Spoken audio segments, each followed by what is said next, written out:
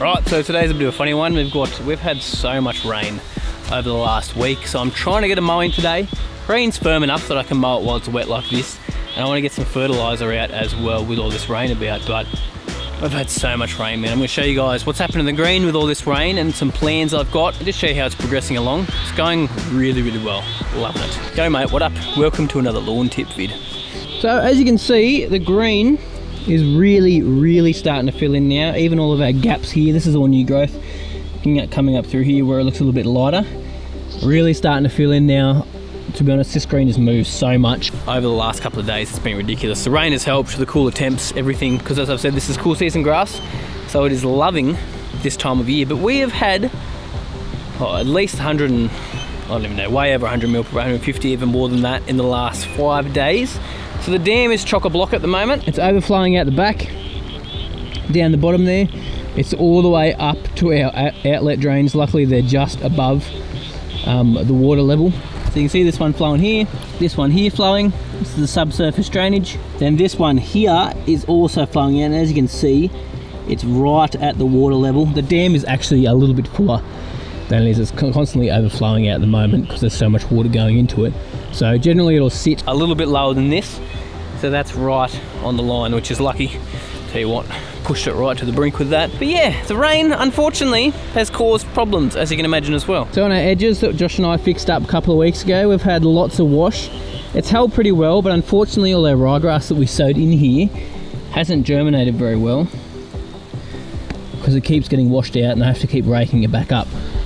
I've legit raked it up and fixed it every single day for the last five days. That's how much rain we've had. So you can see this here is a shocker of a spot. Because it's such a big slope that comes up here and the water comes down through here just keeps washing it out like crazy. Now these parts are not really a big problem. The green's all good there but I need to rake all that off now. Back into the second cut. We get a little bit of wash through this area here. And unfortunately this part here which is actually part of the green from to about this point here needs to be sowed yet again some of it came up and it's looking good. This is about 10, no, 12 days old now, this section just here. And that's come up pretty good. It's not, it's holding it and not eroding, but this stuff eroded before it even germinated, so it's caused a bit of a problem there, so it's another fix we sort of have to do. Lastly, this drain's going well. It could actually probably handle a little bit more water, to be honest. It's flowing in there well. Because the rocks are sort of help, helping to hold it out and letting it flow in.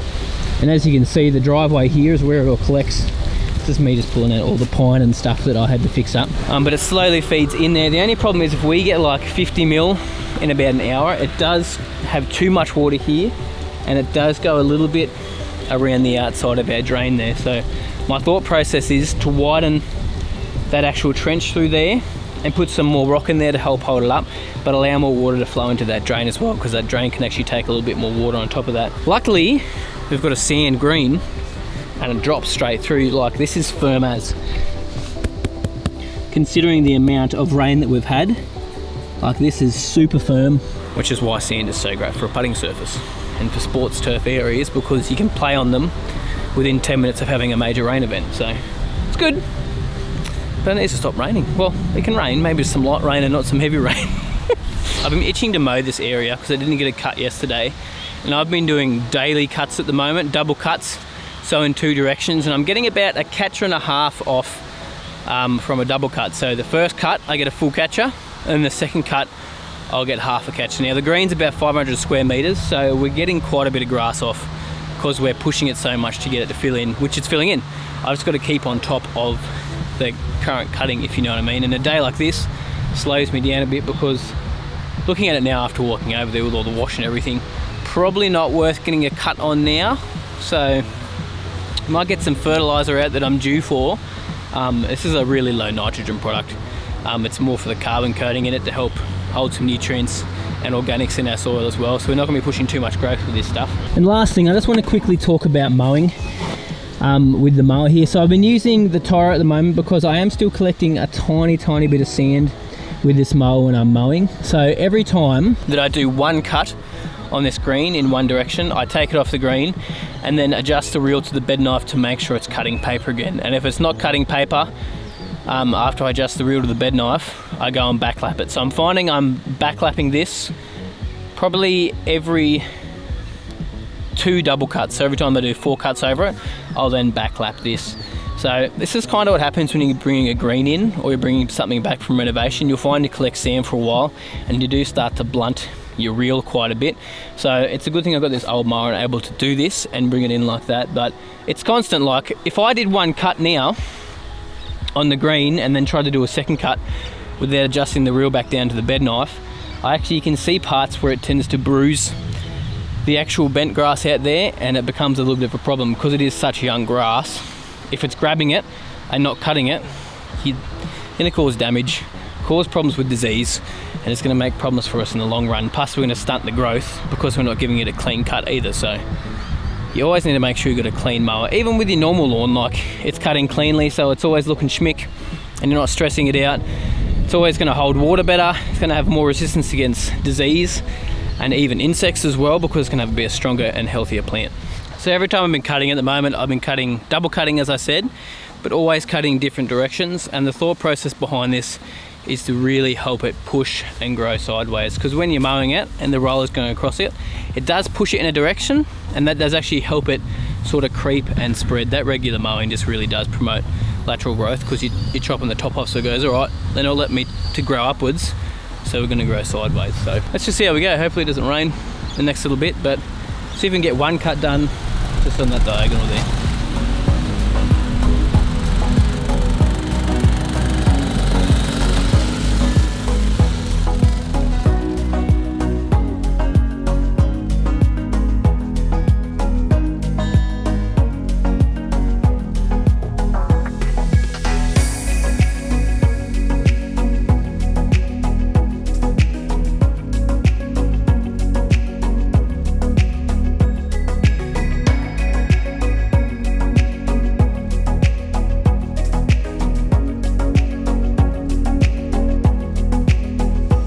Got that one cut done. Definitely needs a double cut. I mean, it's got about half a catcher there, and that's on a wet cut. Normally on a dry cut, you'd get quite a bit more than that. Wet cuts, obviously they tend to collect up the top a bit and everything sticks everywhere. You get some sticking to the reel, some will fall out as well because it doesn't quite shoot into the back of the catcher properly. So we probably got a little bit over half a catcher off a single cut there. So that goes to show it has slowed down a little bit. So the nutrients have probably leached out of this area because we've had so, so much rain. So there's probably not quite as much nitrogen pushing it now. So um, yeah, we'll be fine putting some fertilizer out today. We're still getting rain, like even when I was mowing, then it just kept showering on and off. But I'm really impressed with how the green held up with a cut, how firm it is, um, and how quickly the water drops through it, which is why we went with that sand in the first place. Is so, you know, if we get uber heavy rain like we've been getting and I need to get out and mow, I'm to be able to mow within 20 minutes of having a heavy storm. It's really cool to see that, it's exciting. So we're putting out our MP Carbon Green today.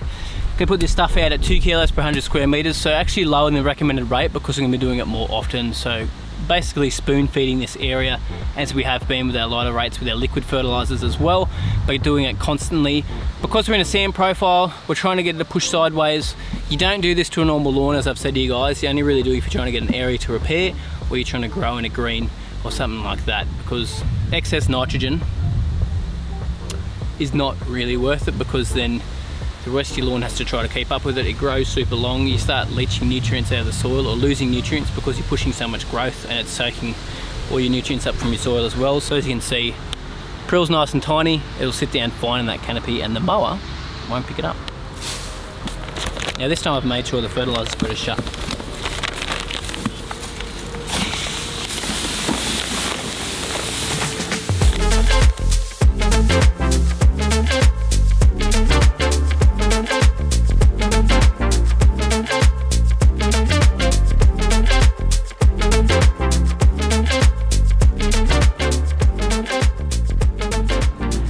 Timing with that. The rain's starting to come back in, so makes me feel good. Now, it looks so much better after a cut. Yeah, I can't believe the difference it makes, to be honest, once you get a cut down on it. Just how much more pure this is starting to look, starting to feel in. Now, something I just wanted to quickly talk about. I'm not sure if you guys can see this on camera. You can. These light green patches like this. So this is a lot of the new growth. Um, but it's also a sign that it is a little bit hungry. So it's gone a little bit off color when you start to see a little bit of color difference in your green if you've got the same cultivars throughout it and you haven't got patches of like poa winter grass and even maybe some cooch and something else if you're seeing spots like that it's a good sign that your lawn is hungry or your golf green and it's in need of a feed. Now the only reason this is so hungry all the time is because again full of sand doesn't have a lot of organic matter built up at the moment to hold nutrients so a lot of it's dropping through. Um, so that's why this here is a little bit more hungry and we have to keep on top of the feeding. Um, hope you guys understand that, that I'm not just chucking product out to try to make it grow quick but it's actually because it isn't really holding nutrients in this area just here. It will start to more and more especially that carbon green product will help it do that. And my the, um, my lawn tips mix as well with all the microbes in there. They'll actually promote a lot of more organic matter sort of building up and helping hold nutrients and helping this area feed off what's already in there instead of just relying on liquid fertilizer applications and your granular applications as well. But it is starting to look good man. Really starting to look good. Be good when these bare patches fill in. They've already started to creep in a bit. As you can see we've got some new growth in the middle of it. So everything is starting to creep and fill in. That was actually where a fox dug. Um, I found out this foxes, I heard them one night going nuts off in the distance. They actually dug up all around the edge here. I just didn't film it because I was frustrated. um, but it's really starting to look good. Like, even walking over it, like you can just see the difference from even a couple of weeks ago. This is, this has actually knitted up even in the last couple of days, even more than last time I showed you guys. Man, wowzers. Well, the rain's really starting to set in now, but I thought before I wrap the video up, let's get a golf ball out. Well, it really is raining. And see how it rolls. Obviously it's wet, cutting a 6.5 mil. Only had a single cut, but we'll you how it rolls. Ready? Now that's a slope down there once it gets down there, but it's rolling. I'm getting out of this rain. Thanks guys so much for watching. Gonna wrap it up now because this rain is coming in heavy, but excited. I'm gonna show you guys that take a fire later in the week, how it's gonna hold the edges, overseed some patches, bring a Hyder cut down in the next video. Lots going on. Getting excited. So anyway, thanks for watching guys and I'll see you guys very soon.